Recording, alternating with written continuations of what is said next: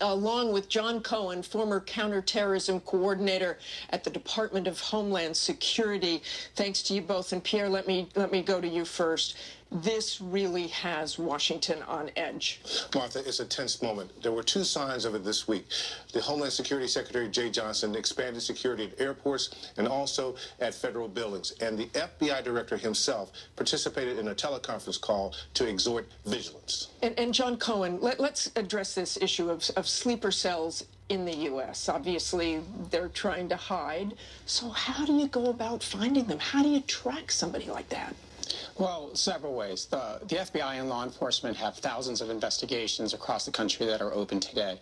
The bigger concern are those people who haven't risen to the attention of law enforcement. They've been discreet in their communications. They haven't been spending a lot of time um, training with uh, with recruiters or, or meeting with recruiters. Though that's where the difficulty lies, and that's where strategies that involve working with local communities um, together so that we can identify people who are exhibiting the warning signs and take steps to deal with those people. That's so, important. So, federal agencies dealing with local communities, this doesn't seem like an especially good time for that to happen, is it? No, I mean, I'm hearing from police officials around the country the relationship with the federal government um, is, is, unusually strained at this point in time.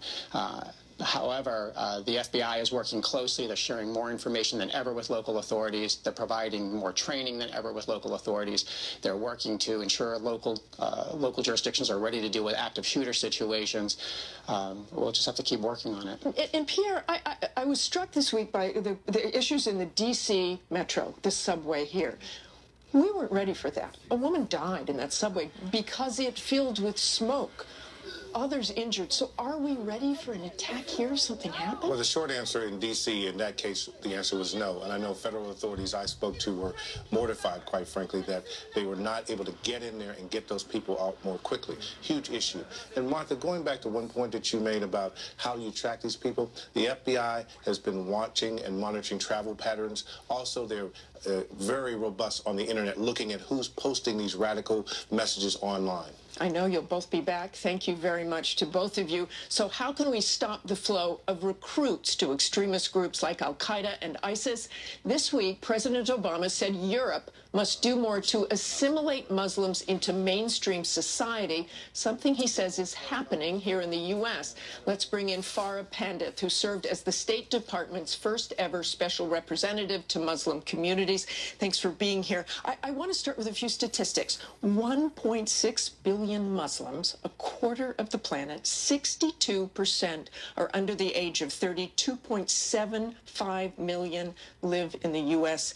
These, this is the pool from which they recruit, especially those young people. absolutely, and but it's not just here in the United States or in Europe; it's all around the world. That's a central point. They're looking at communities of young Muslims that have grown up in a post 9/11 world, who are experiencing something very particular to this generation, and we need to understand that ideas don't have borders. It's all around the world, and these are digital natives, so they are connected to each other. But here's the deal this issue, this threat of recruitment, the vast majority of recruiting is a poss- is a solvable problem. It is possible to stem the vast majority of recruitment. Give me some very practical things that we could do that we are not doing. Sure. Well, first of all, we have to understand that um, we need to be as serious about uh, stopping the ideology of the extremists as we are about fighting terrorists. And that means going back to the local level, understanding what's taking place outside of government and upscaling the ideas that we hear on the ground with monies that do not come from government, but come from philanthropists, that come from the private sector, they come from foundations. We need to be looking at the ideas that we are hearing will work. The second alternatives to what they're hearing well, from these Al Qaeda and ISIS. We are, Martha, we are very comfortable with this issue of how to build preventative medicine uh, techniques.